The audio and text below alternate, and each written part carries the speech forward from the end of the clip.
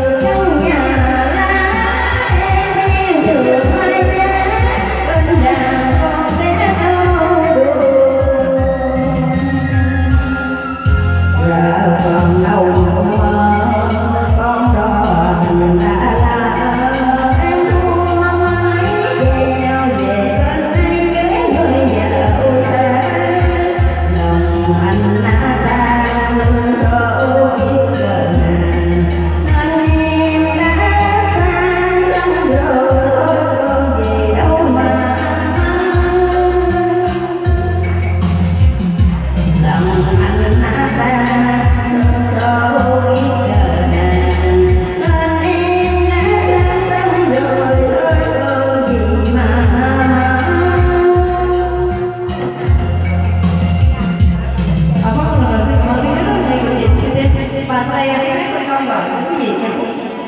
người thương sẽ nhớ nhớ